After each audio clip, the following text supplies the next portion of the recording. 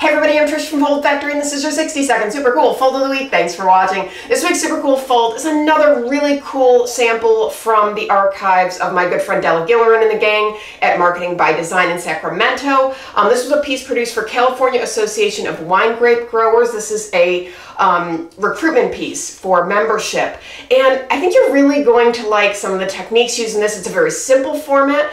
Um, and I just I just thought it was really worth sharing. So it's got a little curved die cut on the cover right here, which is really nice. It kind of crops these images really nicely and invites you to open. When you open it, you realize that it's actually an asymmetrical roll fold. So this is a four panel piece and this panel opens out and opens out again. So you get this interesting area of emphasis, almost like a sidebar over here. And then you also have a lot of real estate in here for, you know, larger amounts of information.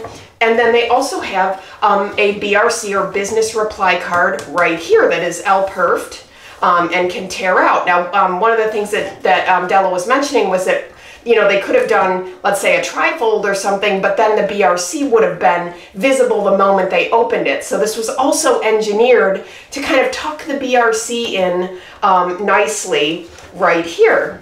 So uh, I thought that was also just a brilliant design decision, and in, in doing so, it created a nice area of emphasis. So um, these were printed by Paul Baker Printing. Um, they're, uh, this is a 100 pound cover, and they did about 2,000 of these. They're printed offset, die, score, perf, um, and fold, and just great, great, simple, um, inspired design. So I hope you like it. That's your 60 second super cool fold of the week. Asymmetrical roll fold with die cut cover. For this to your friends and colleagues, keep the dialogue going. Viewers, please send me your folds if I use them. I'll send you free stuff. Visit foldfactory.com for folded samples, die lines, and print. And remember, think finishing at the beginning. I'll see you next week. Bye.